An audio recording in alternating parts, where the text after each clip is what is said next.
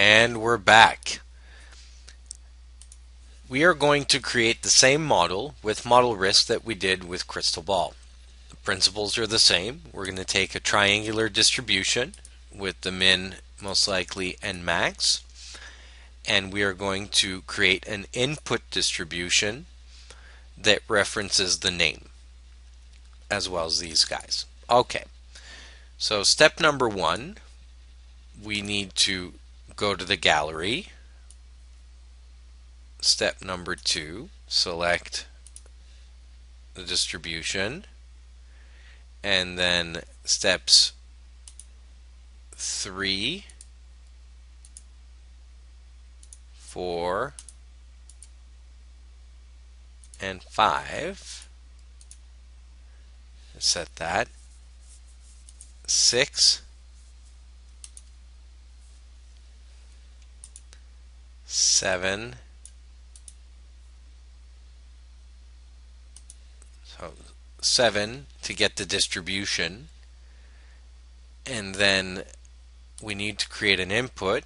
So that was eight, nine, ten, because we want to make sure it's an input. So 10. 10 steps. Okay. So we want to copy this. So how many steps to do that? Well, one. Color coding. Okay. Well, with this tool, we have a find function which, fun which essentially enables us to pick what we're working with. In this case, we're going to take inputs and we're going to tell it to fill and we are going to pick uh, a green. Unfortunately, because of my dual screens, that appeared on the other screen, so bear with me. Apply. And you'll notice it applied that automatically. So we had one, well, one, two, three, three steps. Close. Steps to create an output. Well, the output is this, again as the other, so we do a sum.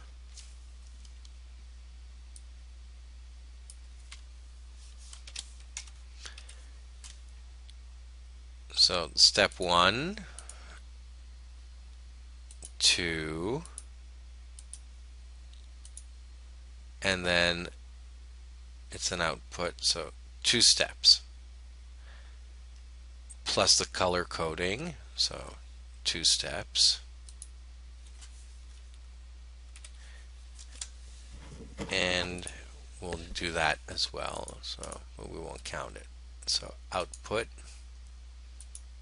and make that a pretty blue. Apply. Close. All right. So we're all set. And last but not least, let's run our simulation.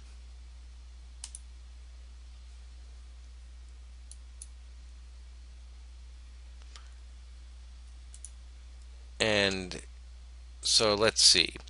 We have our viewer over here. Just increase the size of that.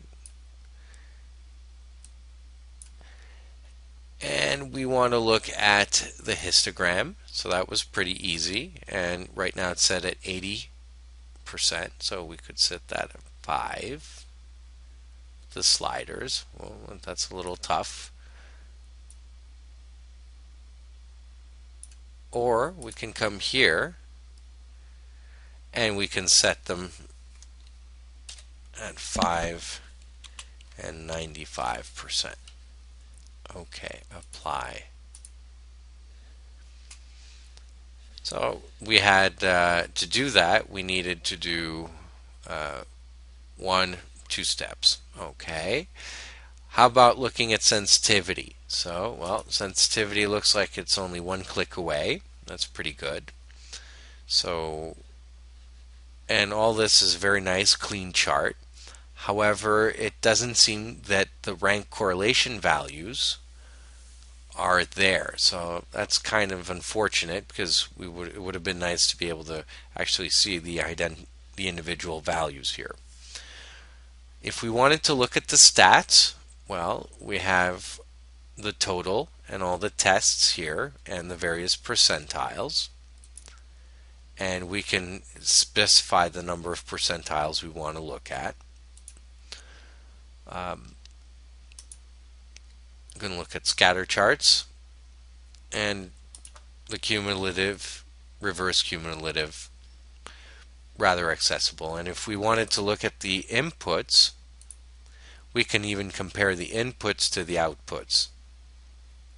And and so on. So create overlays. Okay, and uh, if we had that as a distribution. Okay, so that covers that.